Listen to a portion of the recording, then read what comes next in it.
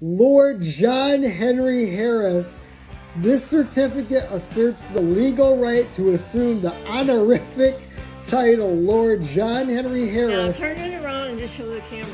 I'm saying too much. We'll take it out of the city. So what I did was I bought a small piece of land in your name. What? So that you can be called officially called a lord. Oh my god. Are you serious? It is in like this nature preserve area, so there's uh, all kinds of information about it in that folder on the inside. This is crazy.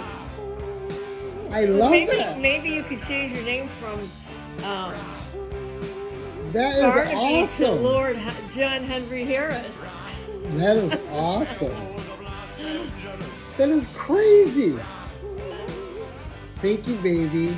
I love you. That is a very unique. I love you. I love you. Thank you. This is crazy. I gotta keep reading this. Let's shut this off.